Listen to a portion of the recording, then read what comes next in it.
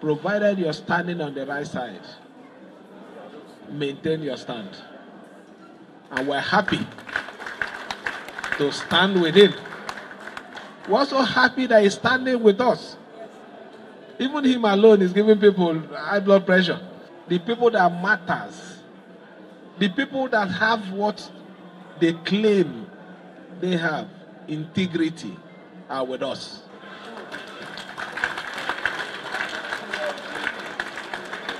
That's the truth.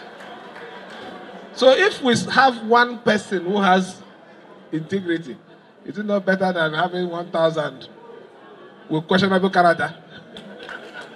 Governor Siminalayi Fubara re-emphasized his commitment to peace shortly after the official opening of the healthcare facility donated by the former governor of Rivers State, Dr. Peter Odili, to close the gaps in the medical needs of Ndoni people and other nearby communities who have difficulties accessing health care following the destruction of their health center by natural disaster. He expressed delight over the gesture and assured that the health needs of indigents of the state receive priority attention.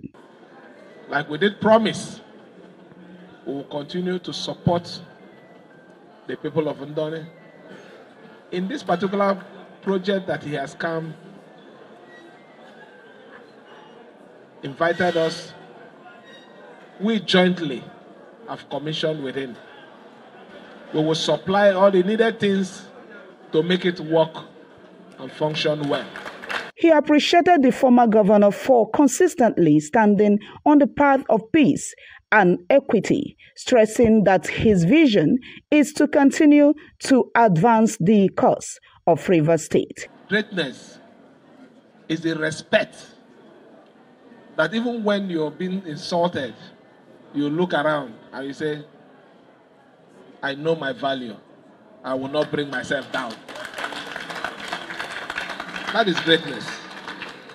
So continue to stand with it. God will help us to achieve the purpose of governance with your help.